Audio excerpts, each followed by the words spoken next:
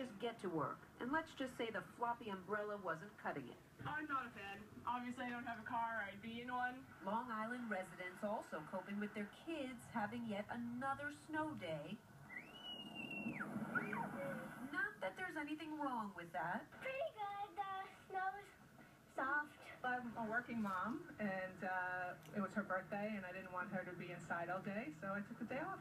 The cleanup was a lot less than last time, except Cece Abramson managed to miss the last storm, so she was all over this one. Stay ahead, because I can't lift it up when it gets too heavy, so stay ahead. That's my idea.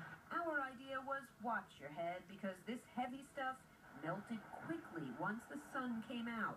Good news for the trees and power lines, but a soggy afternoon for anyone standing under it. That's right. We're back